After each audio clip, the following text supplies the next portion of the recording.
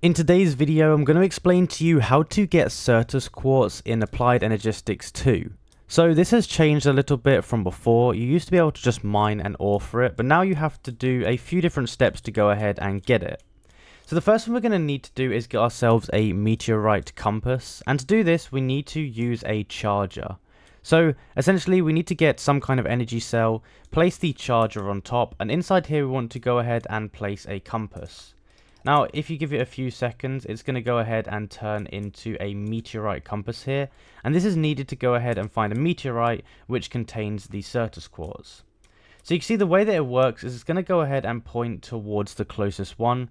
Uh, you can see here the like blue sort of arrow. So I'm going to go ahead and I'm going to go in the direction that it's showing me until I find one. Now the chances are when you have been playing the game you've probably seen a meteorite because it has a massive crater in the ground just like this. So you can see here this is going to be the meteorite and you can see once I'm on top of it it's going to start spinning.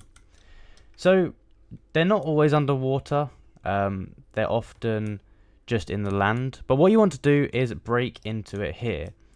And when you break into it, it's going to take you into a little area that looks like this. So inside of it, you're going to have a few different items here. The first one you're going to get is a mysterious cube. And inside the mysterious cube, this is going to give you the presses that you need for using um, the on the inscriber, basically.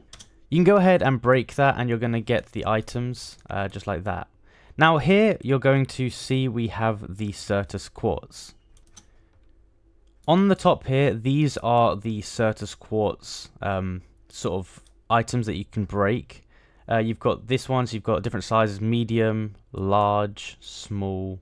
Um, and this these are what you can break to go ahead and get the Certus Quartz. Now, you can use a pickaxe to go ahead and do this.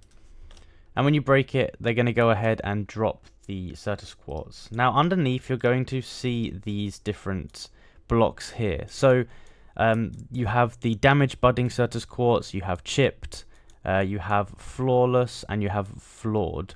And basically, these different ones here are going to grow the Certus Quartz at different amounts. So essentially, these will regenerate the Certus Quartz. And you can go ahead and move all of these with Silk Touch apart from the flawless ones. The flawless ones, if you go ahead and break them, then they're going to be damaged. And when you go ahead and place it, it's going to uh, deteriorate gradually.